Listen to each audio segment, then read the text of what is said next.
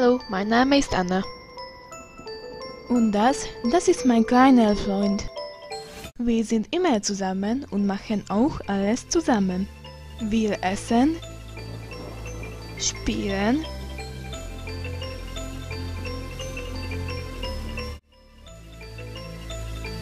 treiben viel Sport,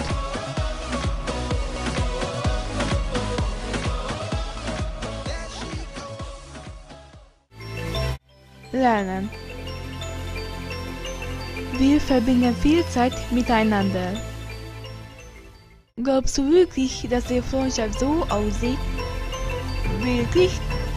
Jetzt verstehe ich, warum du keine Freunde hast. Die Geschichte ist noch nicht zu Ende. Weißt du, wie die Geschichte weitergeht? Was glaubst du?